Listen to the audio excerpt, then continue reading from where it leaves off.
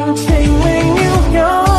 Dạng đời có em làm bạn đời. Thật may mắn khi anh nhận ra ta yêu